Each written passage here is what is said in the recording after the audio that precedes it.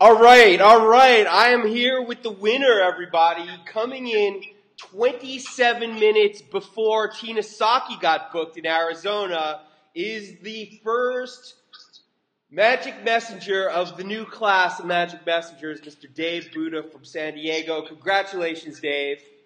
Oh, it's it's it's good. I, I feel I feel really. It was today's been a great day.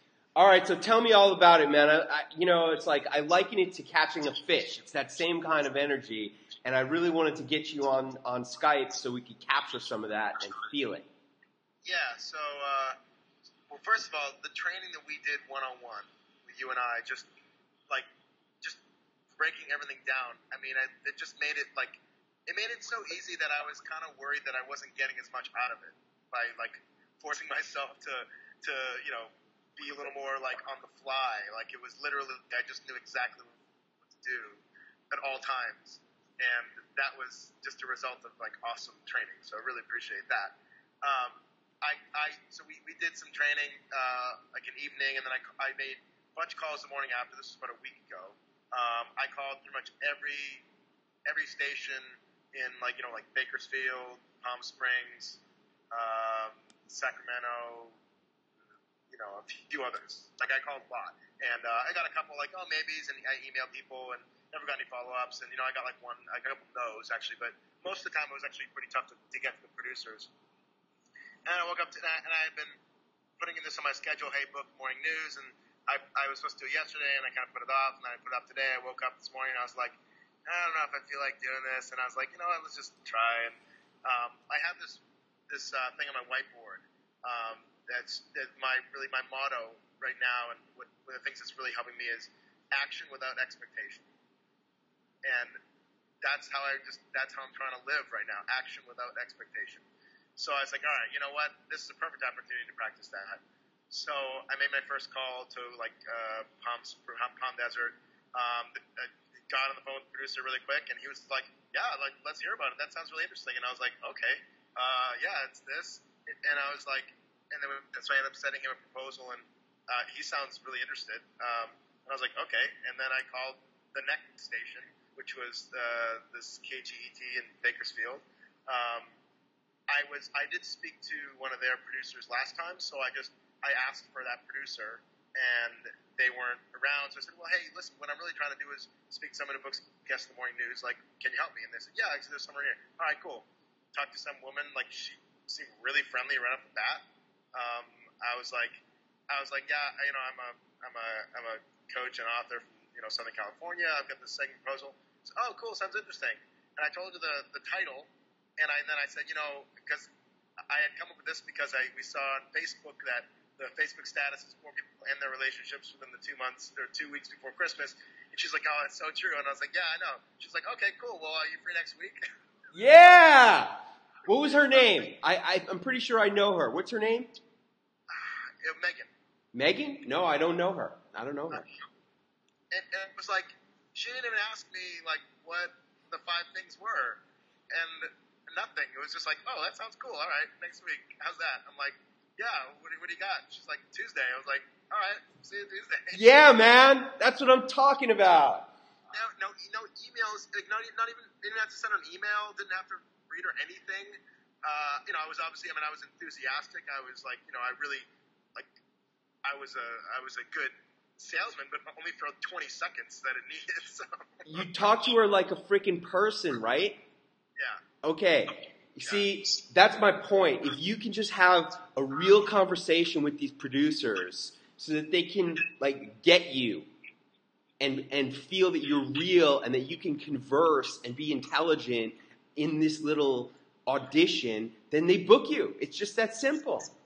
and I, you know, one of the things that you that we had focused a lot was the timeliness too. I think I, I I don't know, but I mean, I only did two calls this morning that both went really well. But like, I'm feeling that when I said around the holidays, like it was certainly more timely right now than it was like two weeks ago, be- like right before Thanksgiving. Everybody's thinking about Thanksgiving. So like, but I really feel like you know, it's just about putting it out there. And like sometimes they might be like, know, at their desk going like, God, we need some more segments. And then you call, and whatever you say, even if you're like, I just, I just want to come on and like stare at this camera, they'd be like, well, at least I wouldn't have to book someone if I book this guy. I mean, you know, so it's really like a timing thing. You know, it's like it, it's and it's just like you know, it's just like meeting women. It's like sometimes like they just you know broke up with their boyfriend or their grandmother just died. You can't control that stuff. You know, you just put it out there, and sometimes it's like this is exactly what I was looking for, and you're like, all right, sweet, like that was easy, you know. So yeah. Hey man, I knew you could do it. I, I, I know that everybody can do it, but I knew you could do it. You had a very solid segment. Uh, what was what was the title of your segment? Five relationship landmines to avoid during the holidays. I mean, come on. landmines. yeah, oh, and, I love the line that one of your other um, graduates gave. You know, to get your suit ready. I mean, it's so true. Like, it's Friday. Like, I have to rearrange my schedule to go up to Bakersfield on Monday night, and you know, like, just dust up my suit. I don't have time to get it dry cleaned, which it doesn't need to be dry cleaned, but I wouldn't have time to do that anyways.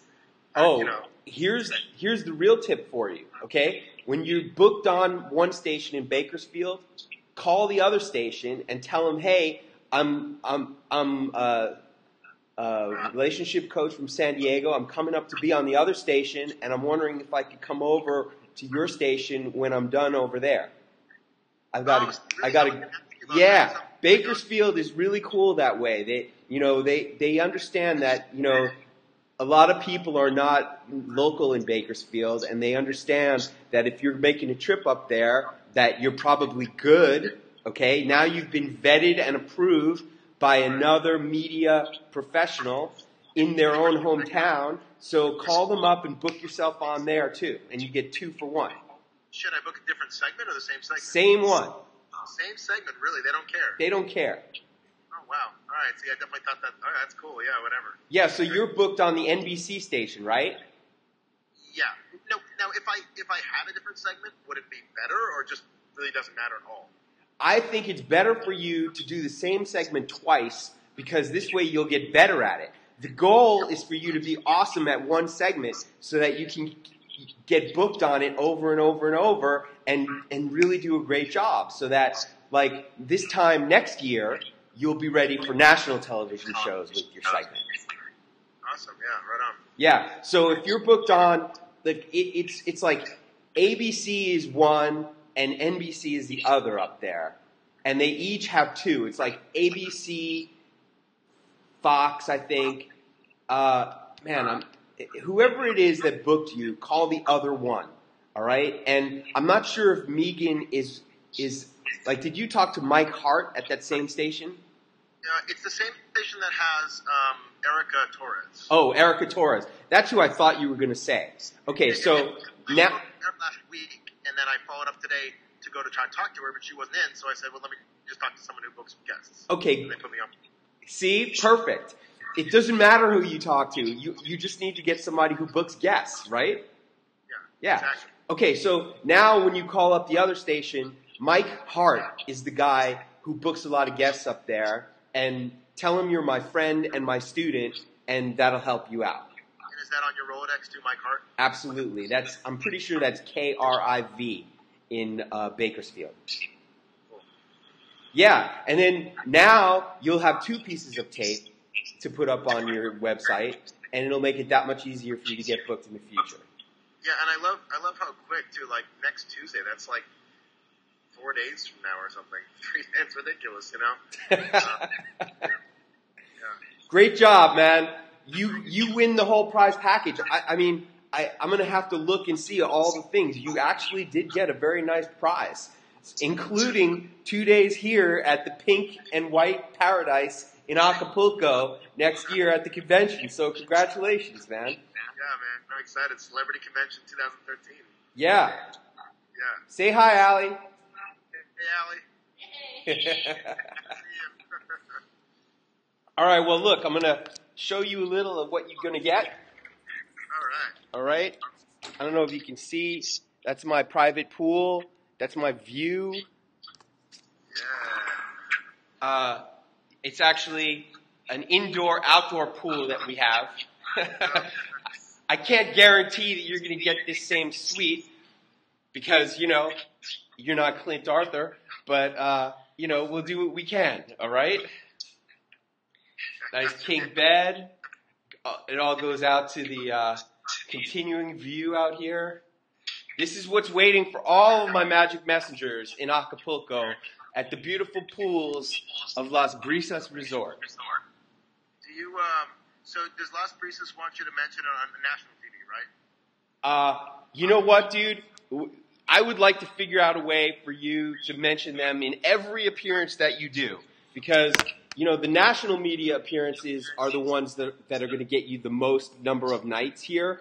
But I'm going to talk to them and try to make it so that no matter where you mention them, you get at least one night credited to you. Because, you know, like, I, I plan on doing like 50 local segments in the next couple of months because it's around New Year's resolutions and stuff. And uh, I, I want to be booking nights for, for all of those.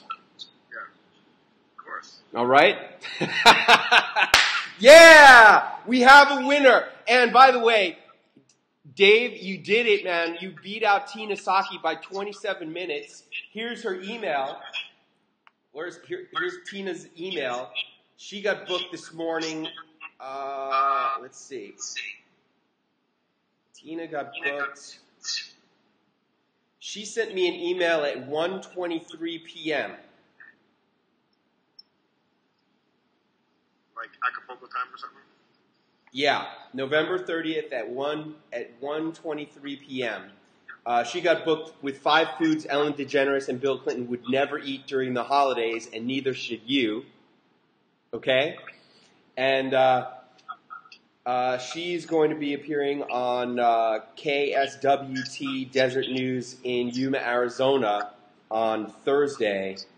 Uh, it looks like she's going to be there next Thursday. So you're right. It's like better have your suit ready. but here's her email, and you hit me with a text at 12:57. So you beat her out by just a few minutes, and that's the way it goes in television. It's very, very fast. awesome, man. Awesome, man. Congratulations. I want to emphasize again, like how how easy it was. I mean, it's I literally, and it wasn't just that I had a script because there's one thing when you have a script and then can't deviate from it, but to have the things that really mattered down and then allow yourself to just talk other than that. Like, you know, I think you did a really good job of, of scripting the things that need to be scripted, but not scripting the things that don't need to be scripted. You know, and, and, and that's, that's a really, that's a really important thing because a lot of, think a lot of like, you know, whether it's sales training or even like, you know, picking up women, it's like, you just, you want to like, want to give people tools so they don't suck, but you don't want to like, you know, tie their hands together. And I think that was just a really good, um, it's just perfect, man. It was great. Well, like I say, it's the most important thing is that you just go and speak from your expertise. And as long as you're coming from your genuine expertise, you're going to be absolutely fine. And you know, that's that's really the only thing that you have to offer is your perspective as an expert in your topic. And you know, when you stick to that genuine place of expertise, you're you're going to get booked. Yeah, it's beautiful, man. All right, man. Way to go. Uh, please be sure to be on the on the webinar on Sunday because I'll be wanting to feature you and and uh, uh, and certainly again after you do your appearance, we'll want to feature you again and get your perspective on what it was like to go up there. Sweet man, we'll do that. Awesome. Uh, there's a Four Points Sheraton up in Bakersfield. I've stayed there a number of times. Uh, if you're not already a member, I suggest you become an, a Starwood Preferred Guest member because you're going to be using a lot of those hotel nights in the months ahead as you uh, expand your experiences as a Magic Messenger. Cool. I think I know a girl up there, so. Oh, oh, okay. Very nice. Okay, well, again, call up Mike Hart. I've had people call Mike Hart at 1 o'clock in the afternoon and get booked. So, just like that. All right? There we go, everybody. Magic Messengers triumphing in the world. Another one joins the ranks. Dave Booda. Again, congratulations.